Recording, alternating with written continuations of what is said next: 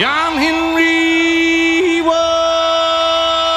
a little bitty boy.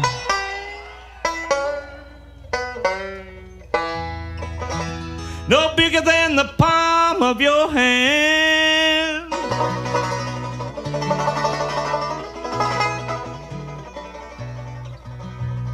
His mammy looked down at Henry and said, Johnny gonna be a steel driving man, Lord. Johnny gonna be a steel driving man. John Henry had a little woman. Her name was Polly Ann.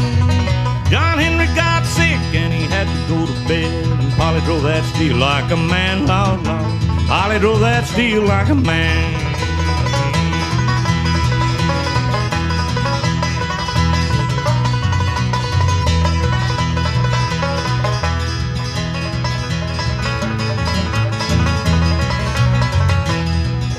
John Henry said to his captain, Captain, I want to hear you sing. I swing 49 pounds from my hips on down. Lord, I love to hear that cold steel ring. Love to hear that cold steel ring. John Henry went to the tunnel to drive steam hammer by side.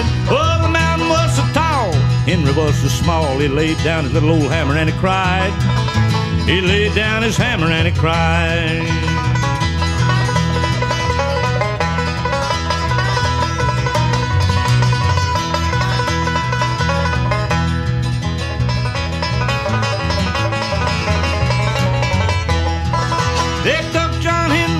Graveyard, put him six feet under the sand. Every time a freight train would go puffing by, they'd see yonder lies steel driving man, Lord, Lord. Yonder lies a steel driving man.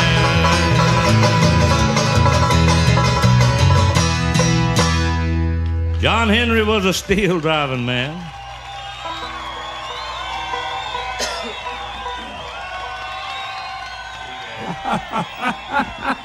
Harold Morrison, that's great.